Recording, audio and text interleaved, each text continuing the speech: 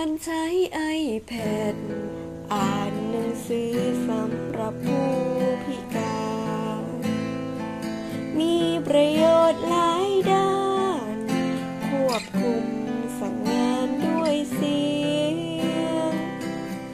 มีแอปมากมายแอปเปิลเป็นผู้เรียบเรียง เรียบเสมือน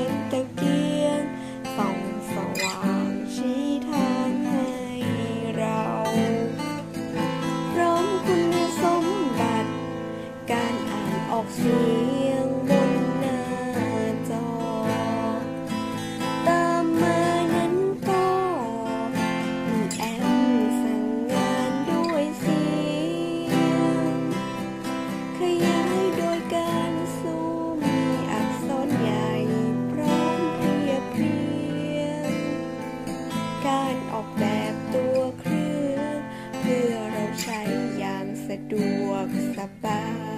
ย ขอขอบคุณแอปเปิลที่การุณ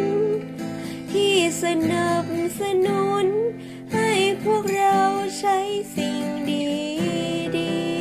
ๆต้องขอขอบคุณที่ทำให้เราได้มีวันนี้